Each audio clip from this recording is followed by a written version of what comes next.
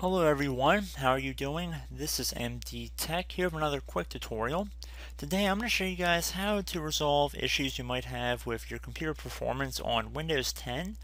So if you are receiving different kinds of blue screens, perhaps specifically if you're receiving driver overran stack buffer errors, or perhaps you think that different sectors of your hard drive might be bad. This brief tutorial will hopefully address that and just run a brief scan using a built-in hard disk scanning and repair utility that Microsoft has included in Windows for many, many versions.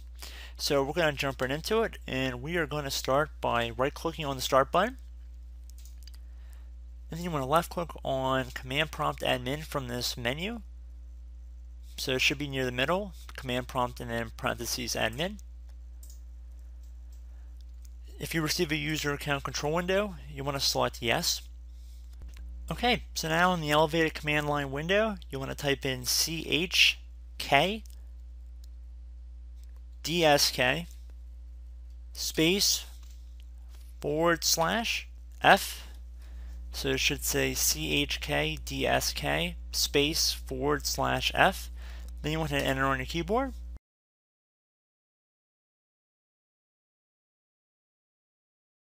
Now it's going to say check disk cannot run because the volume is in use by another process.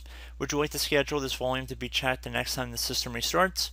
At this point you type Y on your keyboard, hit enter, and then it'll say this volume will be checked the next time your system restarts. I recommend at this point closing out of the command prompt window and then restart your computer like you normally would and it will begin the process of checking your hard disk for errors. Now if that does not clear up some of your freezing issues, I'd also recommend on Windows 10 right clicking on the taskbar once your computer is restarted. Left click on Task Manager. Expand this view by clicking on more details to the bottom left of this window. Then you want to left click on the Startup tab at the top. There'll be a bunch of programs more than likely listed here and you can see the startup impact and if they are enabled or disabled.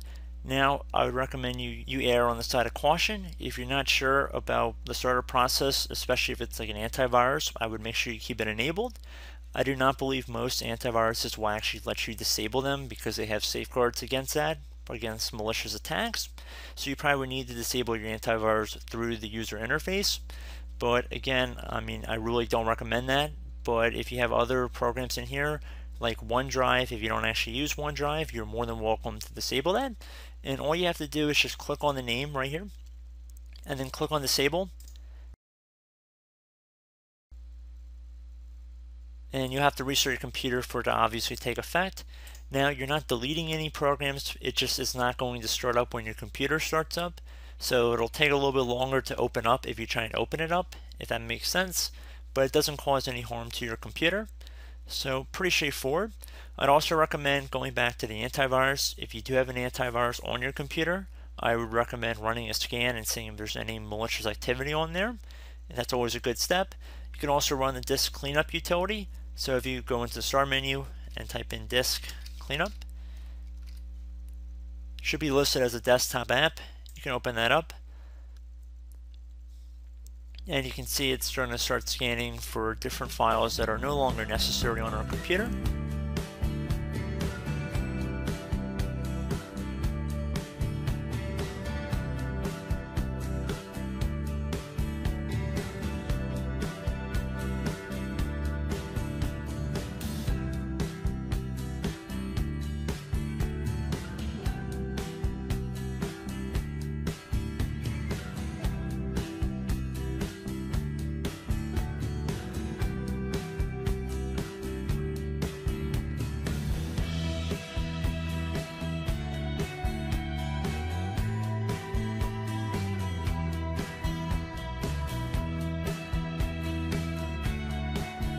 At this point, you would just select which files you want to remove. All these are probably pretty safe bets that you can remove them. Just click on Cleanup System Files right here, and then you would run a disk cleanup. Once you're done doing that, I'd recommend if you want to run a disk defrag, you can always do that by going back to Start button and type disk defrag. It'll defragment and optimize drives if you've never seen this before. I recommend that you click on the optimize button on your main hard drive If you have a system reserved or recovery drive, like a D drive, if that's not your primary hard drive or primary partition, I'd recommend you leave that alone. But for your main hard drive, you can always click on Optimize. And it should optimize your hard drive by moving your data around to the quickest sectors of your hard drive, thus speeding up the processing time to get information. So pretty straightforward. There are quite a few different things we can do to speed up your computer.